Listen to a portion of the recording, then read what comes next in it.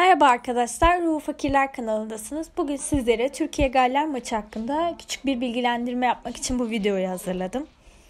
Ee, arkadaşlar, e, Uluslar Ligi 5. grupta liderlik konumunda yer alan Türkiye milli takımımız 8 puanla yer alan Galler'i ağırlayacak. Maç 16 Kasım Cumartesi günü saat 20.00'da Türkiye saatiyle 20.00'da oynanacak. Kayseri Kadir Has Stadyumunda oynanacak maç Eksen ve TV8 kanallarından canlı izlenebilecek arkadaşlar. E, maç kadrosu ve diğer bilgiler için bizi takip etmeyi unutmayın. Kendinize iyi bakın.